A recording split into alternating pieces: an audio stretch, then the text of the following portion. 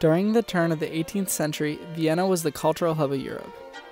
The city was home to many artists, musicians, and some of the greatest composers who ever walked the earth. One composer named Ludwig van Beethoven had new ideas on how music of the time should be composed. These new ideas would fuel some of his greatest pieces and some of the best music he ever wrote, his late string quartets. These string quartets used new ways of voicing the four instruments and different tone colors that made his music stick out from other composers at the time. Many people at first disliked these pieces, but the ones who did looked at them for inspiration. These quartets challenged the traditional instrumental music of the time and inspired other composers to do the same. These composers, inspired by his later music, would use some of his methods in their music, and many of them would later be known as the Romantics. Because of Beethoven and his music, he broke the classical barrier and laid the foundation for Romantic music and the continued growth of Western music.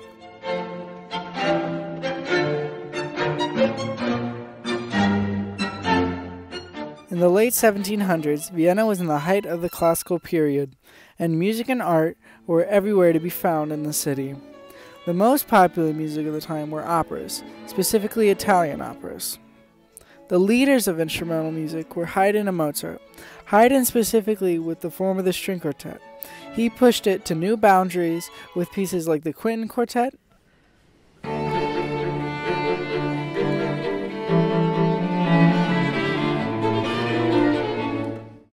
and the bird.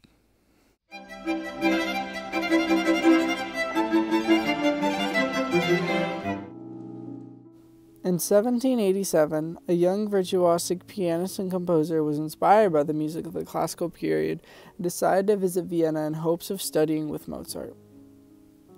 This young composer was Beethoven, and while he was there, he played for Mozart, and Mozart's response to his performance was, quote, Mark that young man, he will make a name for himself in the world. But before Beethoven could say his goodbyes, he was calling home because his mother had fallen ill with tuberculosis and later died from the illness that year. This would be the first and last time he would see Mozart, because he would die at the young age of 35 in 1791. The death of his mother struck him to the core. He fell ill when he returned to his home of Bonn, Germany, and in a letter he sent to a family friend that lent him money for his trip to Vienna, he expressed that, quote, Ah, who was happier than I when I could still utter the sweet name of mother, and it was heard? But to whom can I say it now? Only to the silent form resembling her, evoked by the power of imagination, and that, quote, Fate is not favorable for me in Bonn. With the help of one of his patrons, Count Wallenstein, he moved to Vienna in 1792 to escape the place of his mother's death. While in Vienna, he studied with Haydn and he worked on developing his style. His music, even at this early stage, was different from the average run of the mill court composers. In 1802, he began to go deaf, and he wrote a letter to his brothers, which he never sent talking about his frustration and isolation he felt from the growing silence. This letter is now known as the Heiligenstadt Testament. In the letter, he wrote that he felt, quote, completely isolated, and he said that, quote, I joyfully hasten to meet death. At this point, Beethoven never felt he would reach his musical potential. The silence increased and grew more and more until the last decade of his life, where he was completely deaf. Even though he couldn't hear, this period of his life was when he wrote the best music. His hearing loss may have shut him off from the outside world, but allowed him to hear the music in his head that was pure and clean from the musical influence of the current musical trends. This pure and unfiltered music is seen in the Missa Solemnis, the Ninth Symphony, and especially his late string quartets. Beethoven's late string quartets are seen by many as the greatest music he ever wrote. Lewis Lockwood writes in his book Beethoven, the Music and the Life that, Quote, the last quartets impress more than any other closely related group of Beethoven compositions as being mature individual artworks that nevertheless are bound to each other like family members who look somewhat alike and have some common features, traits, and gestures. But shockingly, people at first didn't like these quartets. Most people suspect that the public didn't like these quartets because they weren't played very well. Carl Beethoven says in a letter he wrote to his uncle about the first performance of Opus 127 that, quote, I know that the quartet was not completely understandable because the first violin part went so badly. End quote. But this was also due to the fact that the Schuppanzigh Quartet had not gotten the parts for the quartet until a few days before the first performance. Another reason why these quartets weren't praised at first is because this was one of the first quartets to be publicly performed. Also, these string quartets were completely new and different from anything else that was performed at the time. And out of all the late string quartets, the one that sticks out the most is the Grosse Fuge. The Grosse Fuge was originally supposed to be the fourth movement of Opus 130, but his publisher told him it was too weird and it should be published as a standalone piece, and therefore was published under Opus 133. The Grosse Fuge is exactly that a grand fugue. A fugue, defined by the Oxford Dictionary, is a contrapuntal composition in which a short melody or phrase, the subject, is introduced by one part and successfully taken up by others and developed by interweaving the parts. Beethoven makes it grand by twisting the rhythm of each variation, leading the ear to make a smooth switch between when each instrument has the melody. For example, in measure 33, he has the second violinist pick up the part of the first violinist at the same volume they are playing it, and as the first violinist and the cellist take the rhythm of the violist at a softer volume, making a seamless transition, and it simultaneously starts the gradual build that has its final climax when all the instruments have the theme in unison.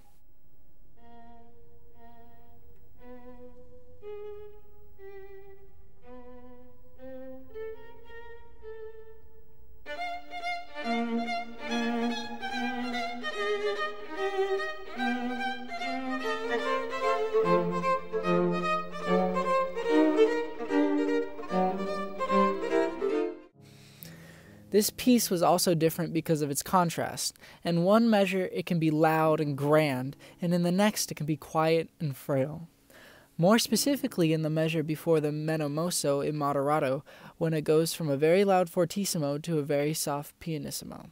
This piece, though inspired by the works of Handel and Bach, did things that no other composer did before, with its phrasings and voicings. The Grosse Fugue and all of his string quartets were inspirations for many and impacted the music of Vienna drastically. Beethoven composed his last piece of music, his 16th string quartet, in 1826.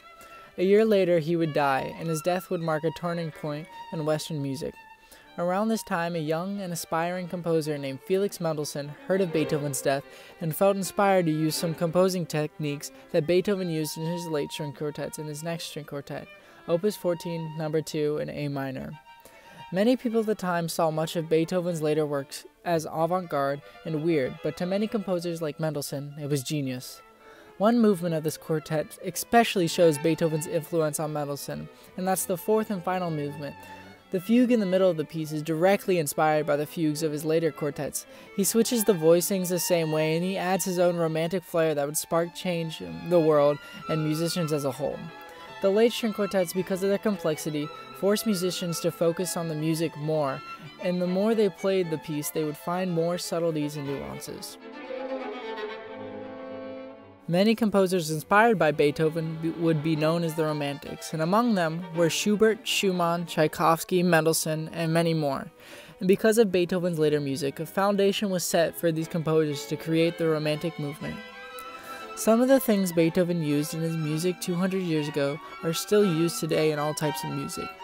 Without Beethoven's techniques for balancing parts, we wouldn't have EQ, and all the music made would sound weird and wonky.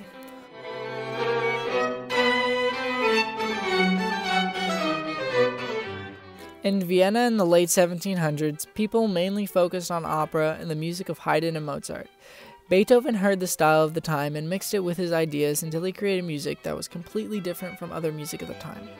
His late string quartets, in particular, pushed music forward with his voicings, his tone colors, and the originality of his music. These string quartets inspired the Romantic composers and broke the classical barrier, helping Western music progress and move forward. His pieces are still studied today and are seen as some of the greatest pieces of instrumental music written, but his techniques in composing led to innovations in the way people make music and think about it.